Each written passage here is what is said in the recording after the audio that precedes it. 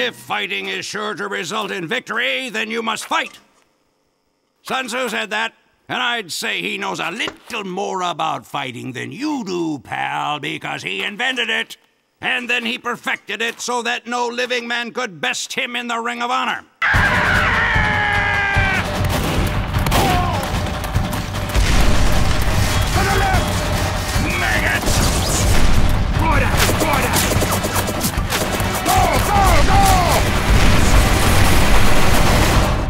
He used his fight money to buy two of every animal on Earth. And then he herded them onto a boat, and then he beat the crap out of every single one. Catch me up there!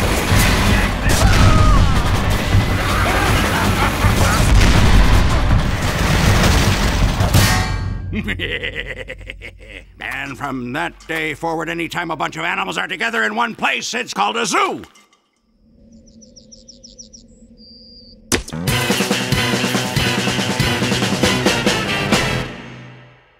Unless it's a farm.